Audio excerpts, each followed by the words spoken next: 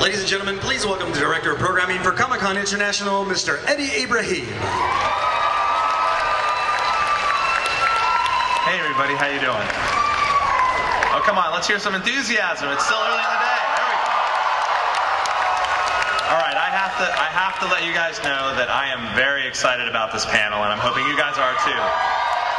So, I can tell you that there are two gentlemen who will be coming out that are within earshot. So maybe we can let them know how excited we are to see this one. Let's get it started with uh, with no more no more announcements or anything. It's my pleasure to introduce Jeff Jensen with EW for the Visionary panels with J.J. Abrams and Joss Whedon.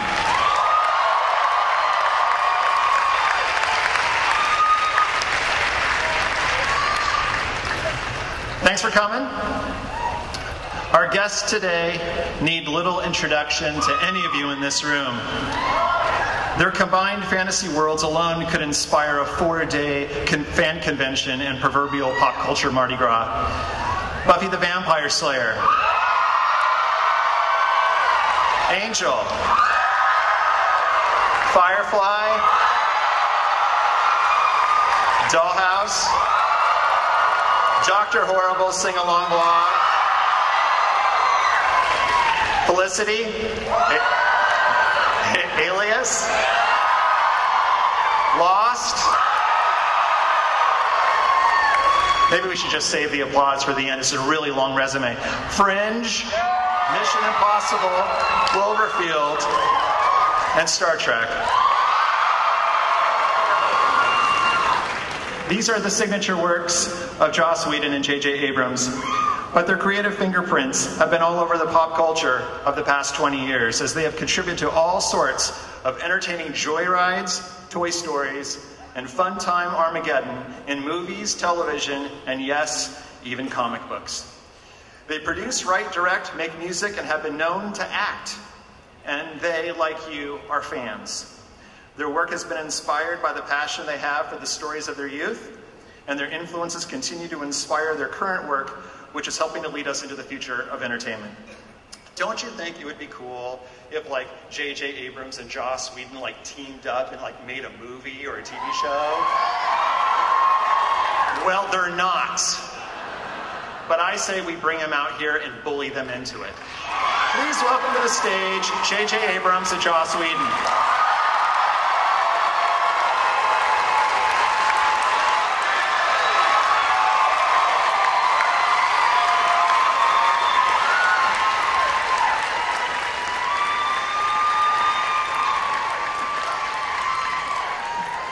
Yo,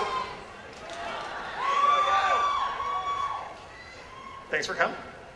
thank you for having us. The people are excited. Test, test, test. Okay. So you guys like know each other, right?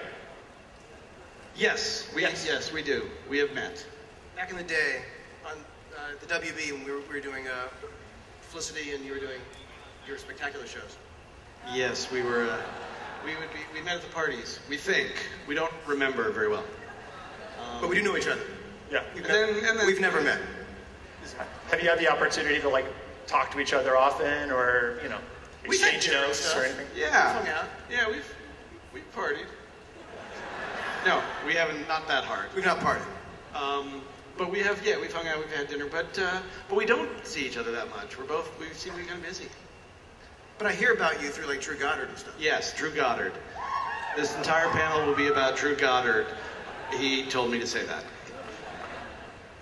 Um, before we get into sort of like the, uh, the, the questions, um, just let you know we will have time for questions from you guys. So we'll, we're going to leave that toward the end. Um, you guys have uh, been to, to Comic Con many times. Uh, you guys are big fans of the things that you love. What's the most extreme thing that you guys have done in the name of fandom and in, in your entire pop culture consuming life? JJ, do you want to take that one?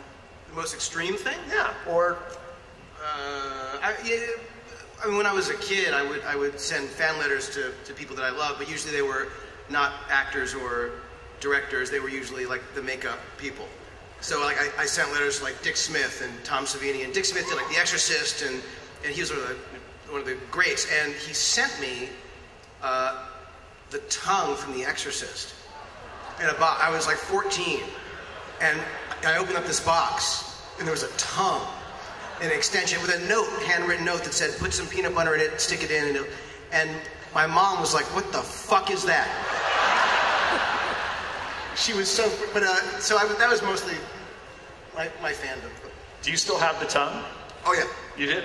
I did. I should have brought the tongue. Uh, you Shit. Joss? I, I, I, there's no way I could top the tongue. I got, I, I don't. Uh, You have nothing better than the tongue? no, I do have an alien egg, um, but I had to bury the franchise in order to get it.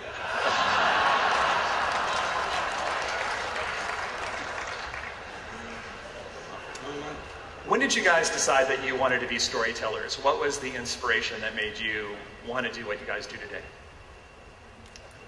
Um, I decided that JJ wanted to be a storyteller when he was just a lad, a young lad. Um, I always wanted to be a storyteller. There's never been any doubt. I had no idea what form that would take. I just knew I couldn't make an honest living because that sounded hard. And I just felt, you know, I had these universes in my head. I didn't study writing, and I didn't. I knew I wanted to make films.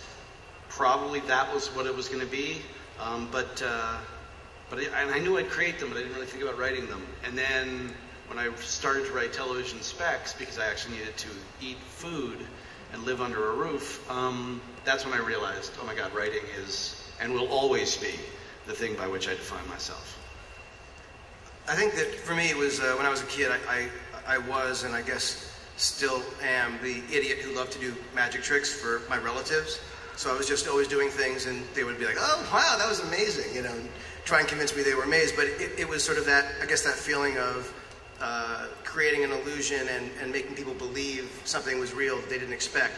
And since I didn't really want to become a professional magician, uh, although I'm certainly debating it still, uh, the idea, sort of writing seems, I guess, like a filmmaking was a sort of a natural progression and uh, another option to do sort of the same thing in a different way.